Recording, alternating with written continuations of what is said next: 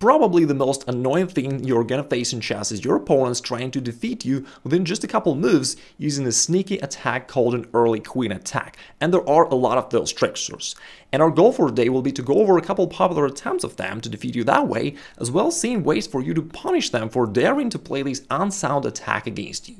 So we're gonna be merciless, and if you're okay with that, let's go ahead and get started. Here's one of those common ways where black can try this early queen attack against you.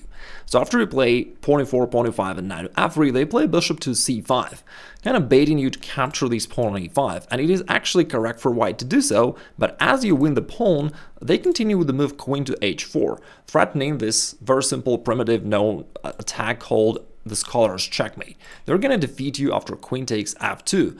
And here's the trick. A lot of players play the move pawn to g3 to block out the queen.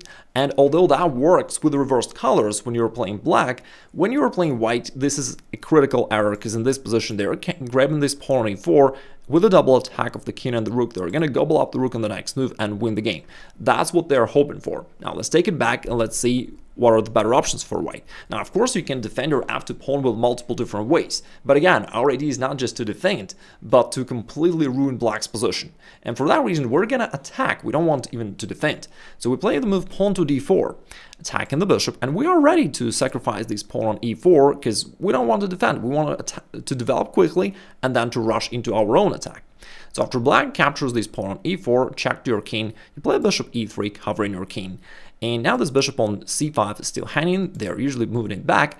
And what's the beauty of this position is that now you start developing your pieces with a tempo and you gain more and more tempos by attacking this queen. And the queen is just dancing around while you keep developing pieces and keep attacking.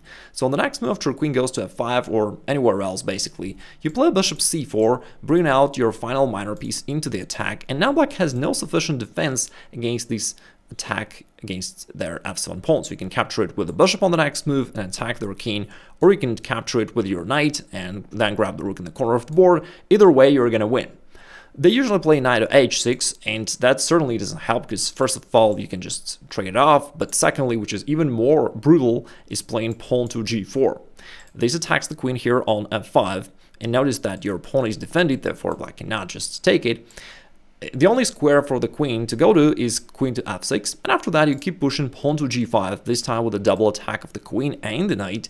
Queen f5 is forced, and now you gobble up the knight, then you grab the pawn on f7, and you completely destroy black. So that's how you refute this unsound attack within a couple moves, and again, without knowing that, you could easily go down, but now we turn the situation around and you punish black for this unsound attack.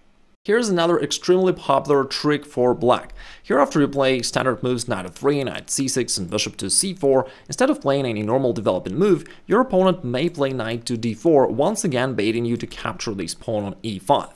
And in this position, it is actually bad for white to do so, although it's not completely losing, but that puts you at a great risk, because knight takes e5 exposes you to this early queen attack queen to g5, and in this case, it is indeed quite effective for black. The thing is, it attacks the knight as well as this pawn on g2, and if you play the move knight takes f7, which looks winning for white at first, black counterattacks with queen takes g2, attacking your rook here on h1, and you can see that you start getting in trouble. For example, if you play rook to f1, which a lot of players do, black follows up with queen takes e4, check to your king, and this leads to this really nasty checkmate with knight to f3. Now, of course, you don't want to go into that line, so let's find a better variation for you. Instead of capturing this pawn on e5, I recommend that you trade off this knight on d4, and after that you simply castle. And Again, of course, for now we can say that you're already safe, but our goal is much more ambitious. We want to defeat black, hopefully within a couple moves. So that's our sweet revenge. How can you do that? Well, let's take a look at a couple popular options of black here. They usually refrain from developing their knight to f6, because in this case you can push your pawn forward to e5, drive this knight away, and that feels unpleasant for black. What else can they do besides developing their knight? Very often they decide to develop their bishop instead and they play bishop to c5, hoping to play pawn d6 on the next move and solidify their position. But in this case, here's a little nice combo that helps you to win. It's a move bishop takes f7, and with this little boom, you actually completely ruin black's position. King takes f7 is forced, now queen to h5 check comes with a double attack to the king and bishop, thus on the next move you're gonna grab the bishop, Probably this pawn on d4 as well. Black's king is exposed, it can't castle anymore, and you're getting a completely winning game. The final try of black besides bishop c5 is playing a, bit passive move pawn to d6. What can you do next? Well, normally in an opening you'd wish to develop your own knight to c3, but currently you can't do that because it's controlled by black's pawn. So you just play pawn to c3 first, offering this exchange, which is good for you for different reasons. One of them is you, you're going to grab the center after that, and secondly you simply develop your knight with a tempo after this exchange. And then after black goes knight to f6, there's one more thing I want to highlight here. Instead of just playing the move pawn to d4, which everyone plays here just to have a nice center, you can play more aggressively by playing queen to b3. And this simple threat is actually quite annoying for black. In a usual situation, they'd wish to castle and defend their pawn that way with their rook from f8. But currently, since they're underdeveloped, they cannot do that. So they have to play some awkward moves such as queen to e7 just to defend this pawn on f7. And yes, they defended it, but now their position is awkward, they cannot develop normally, and you have great chances to start your crushing attack within a couple moves. You just play pawn to d4, and then on the next move, let's say they try to develop this way, you just play bishop g5, you threaten knight d5, you threaten pawn e5, and that is completely winning. For example, bishop g7, you can already break through with the move pawn e5, you're pinning the knight so it can go away, and if black tries to trade here in the center and grab the pawn, then you play rook e1, this time pinning the queen and winning it on the next move. So that's how you refute black's idea in this case. And here's the final variation where black may try an early queen attack against you, and it's actually extremely tricky.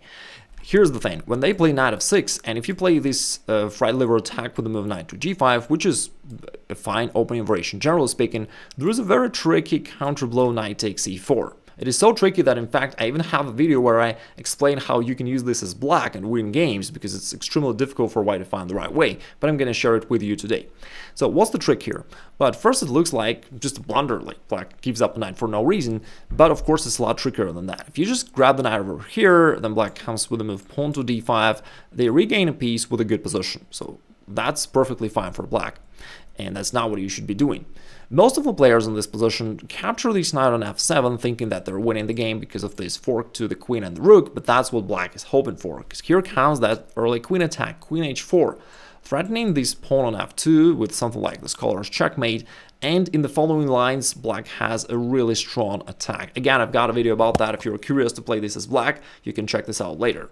But you do not want to go here, okay? That is very dangerous. Instead, the correct way for white is actually going after black's king.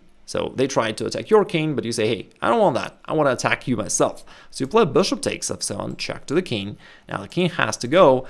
And now thanks to Stockfish, we do know the right move, but still the follow-up is fairly complicated, so let me share it with you. So the correct move for white here is the move pawn to d4. What's the, what's the purpose? Well, clearly black has this centralized king in the middle of the board exposed to your attack, and you just want to open up some central files and start attacking black's king. So that's the main purpose of the move pawn to d4. Also notice that in all of these variations, you don't have to worry about black capturing your knight over here. In fact, it is just a losing error for black. If they ever do so, bishop takes g5 counts with this skewer and you win the queen on the next move. So we don't worry about that, we welcome black to capture your pawn. Alright, let's take it back, let's see what else can black play here instead of knight takes g5. The usual way of black is taking knight takes d4, because they're gonna need to deal with your pawn attack anyway somehow. Now we play pawn to c3, chasing this knight away, it goes back to c6, and now we've opened up this d file, which gives us more attacking options, and we're gonna follow up with the move bishop to d5. So that hits a couple targets. First of all, it attacks this knight on e4, that's the most obvious threat. The other one is knight to f7 with a fork to the queen and rook. That's the other threat which black should worry about. The only way for black to try to save their position is playing knight to d6, which both saves this knight as well as covers the f7 square so that your knight cannot jump there. But you outsmart black with a brilliant move. Instead of jumping with your knight over there, you actually play knight to e6, which is a really, really beautiful combo.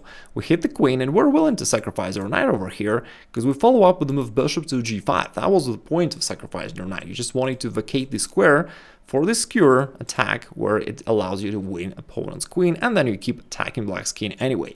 So this is the beautiful variation that to some extent refutes this unsound attack of black.